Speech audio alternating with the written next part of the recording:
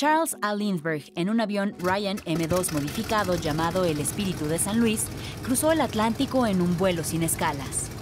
Despegó del aeródromo Roosevelt en Long Island el 20 de mayo de 1927 y tras 33 horas y 32 minutos aterrizó en el aeropuerto de Le Bourget en las inmediaciones de París. Tanto él como su avión se convirtieron en el orgullo de la modernidad norteamericana. Lindbergh viajó en el espíritu de San Luis por toda la Unión y en cada ciudad se formaban largas filas para saludarlo y ver el aeroplano. Para su desgracia, un incidente familiar le dio fama de héroe trágico. Su hijo de 19 meses fue secuestrado y después de varios días lo encontraron muerto cerca de su casa.